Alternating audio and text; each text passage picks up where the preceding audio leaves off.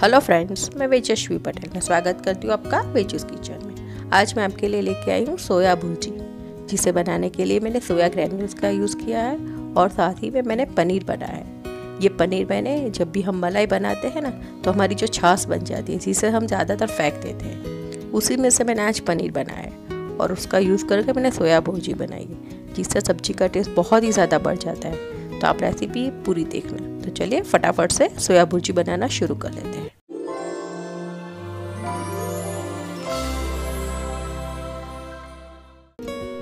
यहाँ सबसे पहले हम ले लेंगे छाछ। जब भी हम मलाई बनाते हैं, तब जो छाछ बन जाती है, उसे मैंने ले लिया और उसे मैंने गैस पर गर्म करने के लिए रख लिया है।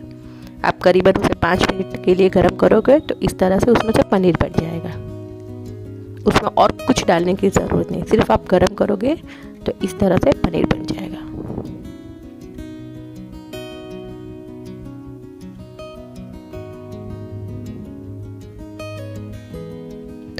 हमारा पनीर बन के तैयार है। उसे हम निकाल लेंगे। अगर आपको इस तरह से पनीर नहीं बनाना है तो जो नॉर्मल पनीर मिलता है, उसे हम ग्रेट करके ले लेंगे।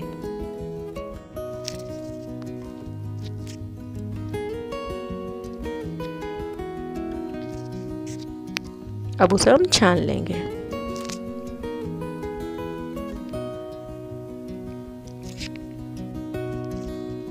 इसे हम साफ़ पानी से धो लेंगे।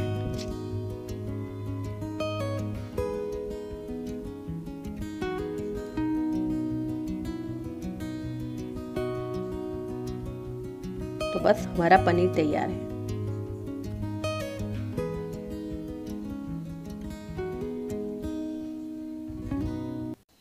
अब इस तरह से पनीर बना के देखना बहुत ही अच्छा लगता है। तो चलिए रेसिपी बनाना शुरू करते हैं। यह मैंने सोया ग्रैन्यूल्स का यूज़ किया है।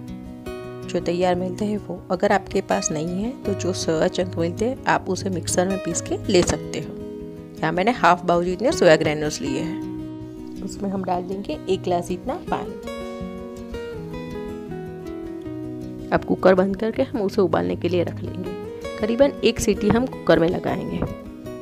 तब तक हम इंग्रेडिएंट्स देख लेते यह बारीक कटी हुई शिमला मिर्च, बारीक कटी हुई टमाटर बारीक कटी हुई प्याज, यह है पनीर जो हमने बनाया था वो, और यह है सोया ग्रैन्यूल्स जो हमने उबाले थे वो।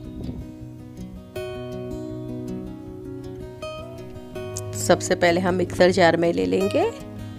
आधा कटा हुआ टमाटर, आधी कटी हुई प्याज छः से सात लहसुन की कली और छोटा सा अदरक का टुकड़ा। इन सबको हम पीस लेंगे।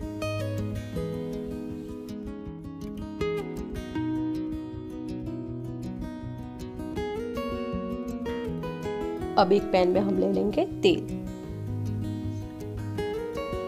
यहाँ मैंने तीन बड़े चम्मच जितना तेल लिया है।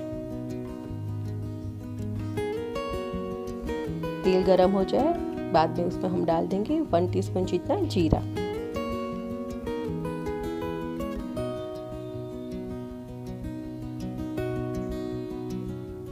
वन फोर टी स्पून जितनी हींग। बारीक कटी हुई हरी मिर्च। यहाँ मैंने दो हरी मिर्च को बारीक काट लिया है। भुर्जी में ऐसी कटी हुई हरी मिर्च का टेस्ट बहुत ही ज़्यादा अच्छा आता है। वन फोर टी स्पून जितनी लाल मिर्च, और साथ ही में हम उसमें डाल देंगे वन बाउल जितनी बारीक कटी हुई प्याज। इस तरह गरम तेल में लाल मिर्च डालने से सब्ज़ी का कलर बहुत ही ज़्यादा अच्छा आता है।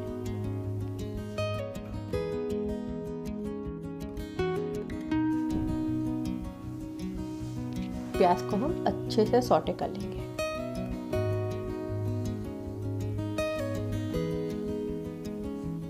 प्याज हमारी अच्छे से सौटे हो जाए। उसके बाद हमने जो प्यूरी बनाई थी, वो उस पर हम डाल देंगे या मैंने इस तरह से प्यूरी बना के डाली, क्योंकि जब भी भुर्जी बनती है तो वो सूखी सूखी नहीं रहती। इस तरह से प्यूरी डालने से भुर्जी में टेक्सचर आ जाता है, और वो खाने में सूखी सूखी नहीं लगती।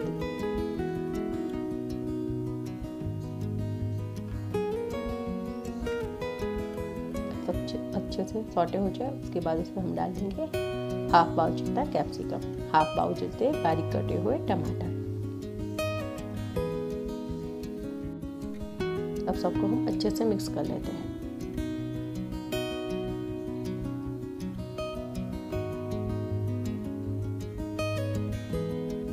इस स्टेज पर हम ऊपर से डाल देंगे एक चम्मच इतना घी।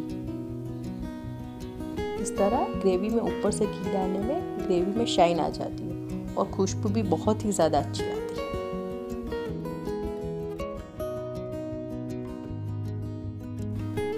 बस तो हम सबको अच्छे से मिक्स कर लेते हैं।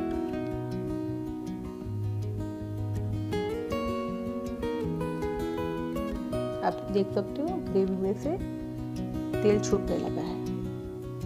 हमारी ग्रेवी तैयार है। अब उसमें हम डाल देंगे ये सोया ग्रेन्यूल जो हमने उबाल के रखे थे वो। सोया ग्रेन्यूल से हम पूरा पानी निकाल लेंगे पहले।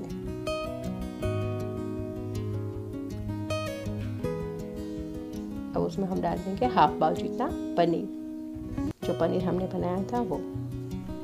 अगर आप नॉर्मल पनीर यूज़ कर रहे हो तो उसे ग्रेट करके डाल दें।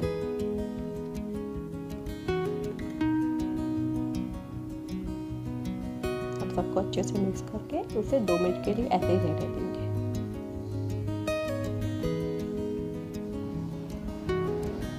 अब उसमें हम ऊपर से मसाले कर लेते हैं। वन टीस्पून जितना हल्दी पाउडर। टू टीस्पून जितना धनिया जीरा पाउडर।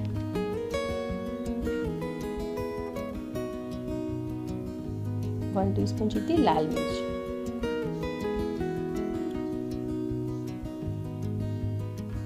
और सबको अच्छे से मिक्स कर लेते हैं।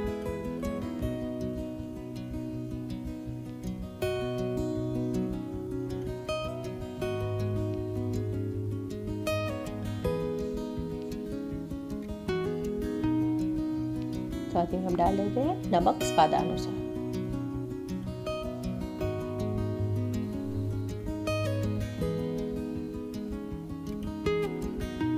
ये हरी मटर, chaat masala, ketchup black pepper powder garam masala.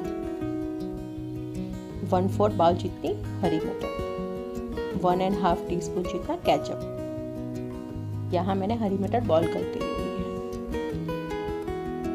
One teaspoon जितना black pepper powder one teaspoon जितना चाट मसाला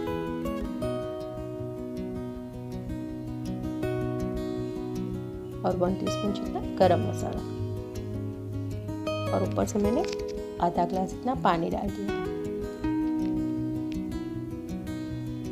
सबको अच्छे से मिक्स कर लेते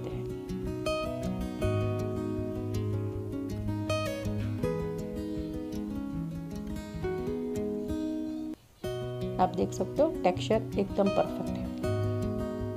अब इसे हम ढक के रहने देते हैं, तीन मिनट के लिए। तीन मिनट बाद हम खोल के चेक कर लेते हैं। तो बस हमारी सोया भुर्जी तैयार है बनके। एकदम परफेक्ट टेक्सचर है।